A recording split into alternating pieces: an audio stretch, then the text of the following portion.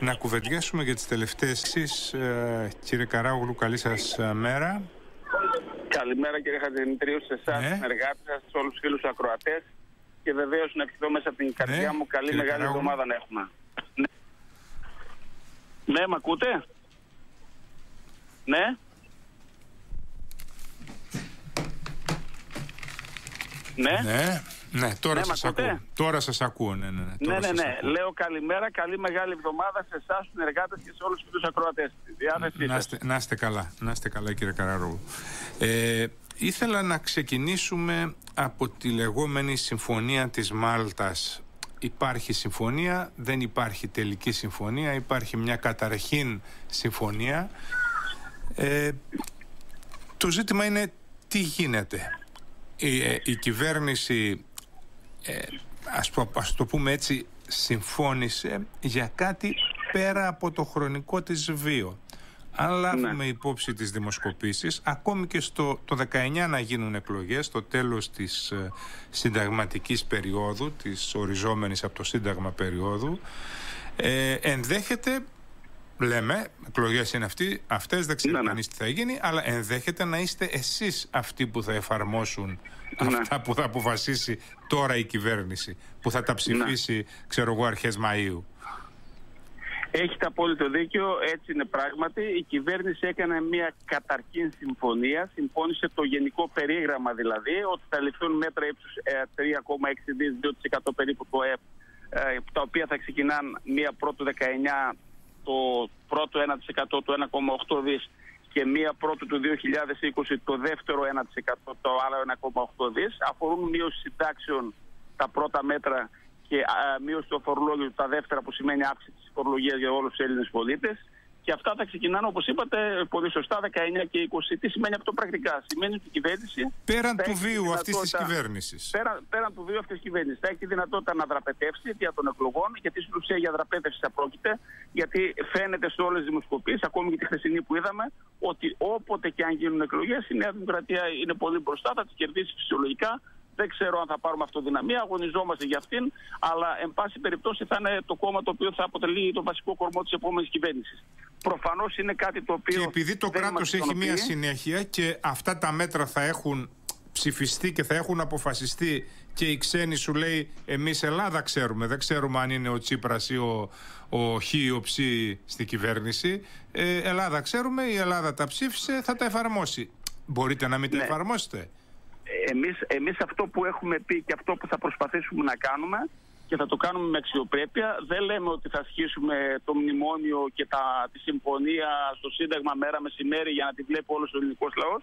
Ε, Τέτοιες αστείωτες είναι μακριά από εμάς γιατί θεωρούμε ότι είμαστε αρκετά μεγάλο και σοβαρό κόμμα. Εμείς αυτό που λέμε είναι ότι θα προσπαθήσουμε επιτυγχάνοντας τους στόχους τους οποίους έχει βάλει το τρίτο μνημόνιο να πετύχουμε τα αποτελέσματα με ένα διαφορετικό μείγμα πολιτικής. Τι εννοώ δηλαδή; Εννοώ ότι σε κάποια ζητήματα στα οποία η παρούσα κυβέρνηση έχει αγκυλώσει και έχει ιδεολειψίες, βλέπε αποκρατικοποιήσεις, βλέπε αξιοποίηση της ακίνησης περιουσίας του δημοσίου, βλέπε μεταρρυθμίσεις στο δημόσιο τομέα, να τα προχωρήσουμε πιο γρήγορα και πιο θαρετά, δίνοντάς τους να καταλάβουν έτσι ώστε ότι μπορούμε να πετύχουμε τους στόχους με λιγότερα δημοσιονομικά μέτρα. Γιατί έχουμε μία αρχή ότι η μεγάλη φορολογία, η μεγάλη μείωση των εισοδημάτων των μισθωτών και συνταξιούχων δημιουργεί τεράστια προβλήματα ύφεση στην ελληνική οικονομία.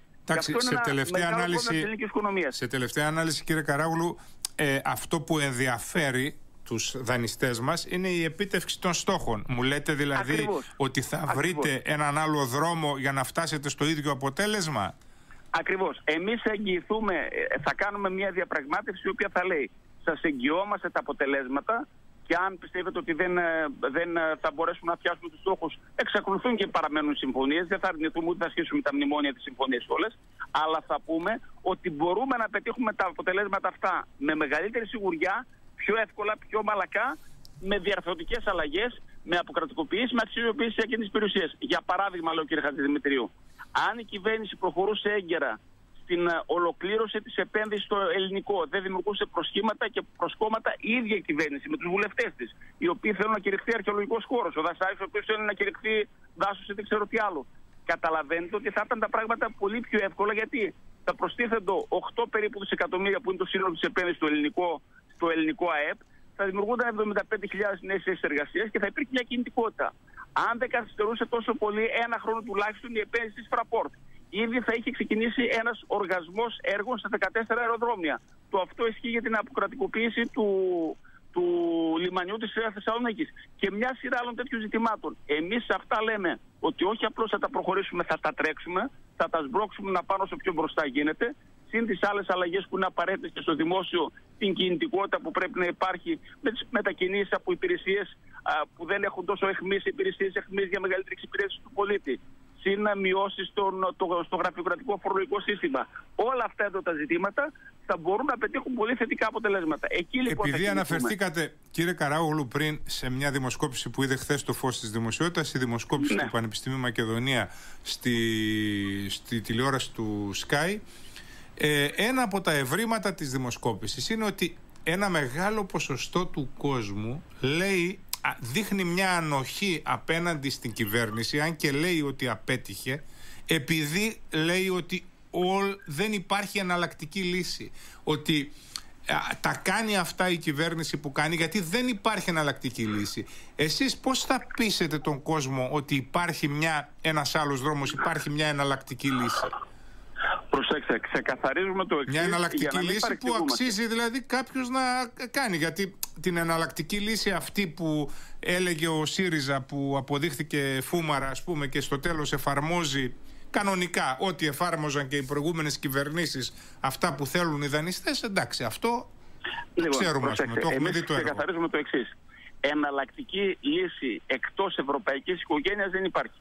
Γιατί εγώ θυμάμαι πάρα πολύ καλά τον κύριο Καμένο ότι θα έφερε χρήματα από τους Κινέζους ή δεν ξέρω από ποιους άλλου. Δεν λέμε για εκτός ευρωπαϊκής οικογένειας. Αυτά είναι αστείωτητες. Στη Βενεζουέλα και τα λοιπά. Και Αυτά είναι αστείωτητες.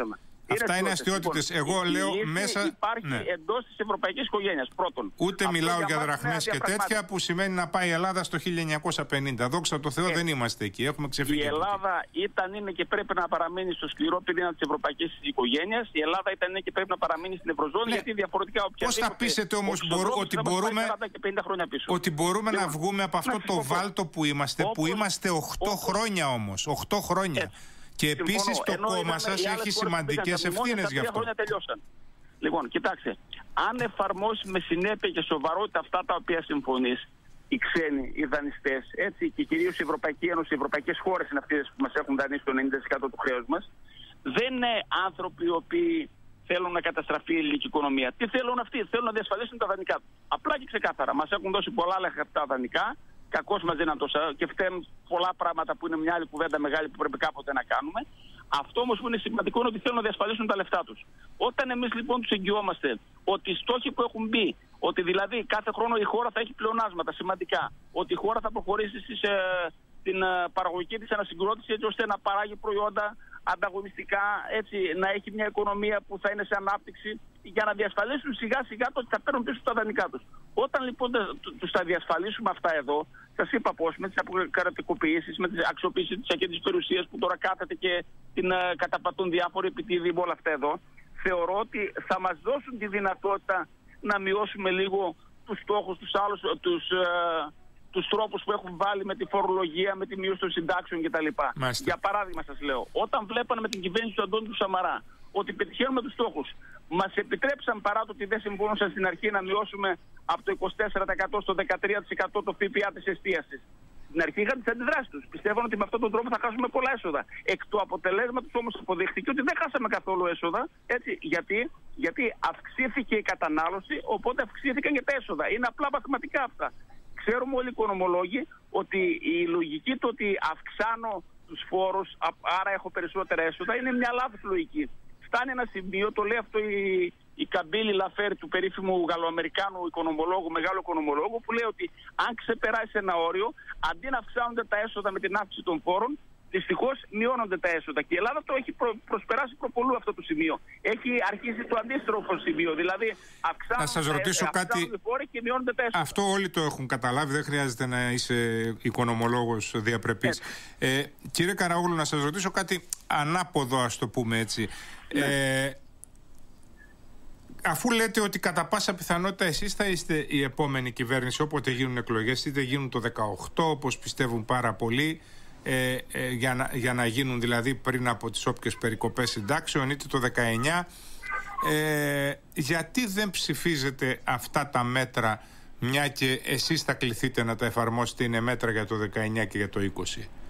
Γιατί θέλουμε να στείλουμε το μήνυμα ότι για τα μέτρα αυτά υπάρχει υπεύθυνος και αυτή είναι η κυβέρνηση ΣΥΡΙΖΑ η κυβέρνηση Τσίπρα Καμένο. Απλά και ξεκάθαρα.